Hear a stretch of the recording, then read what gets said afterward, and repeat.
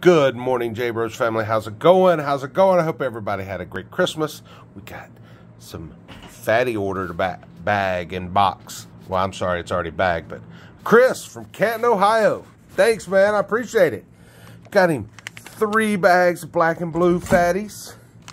We'll get, get those three in there real quick. And then he got three bags of green pumpkin. Yep, that's what we're talking about. Getting them all packed up in here. And he got him two bags of watermelon red going in the box. Yes, yes, yes. Now, hey, Chris, I put your Adam Savage sticker in there. Go check him out on all the socials right there. He's our pro staffer. Go give him some love. He's in there. All right. Y'all be good. And Chris, thanks again. Hope everybody had a Merry Christmas. Hit that follow, hit that subscribe, do whatever you need to do. Y'all have a great day.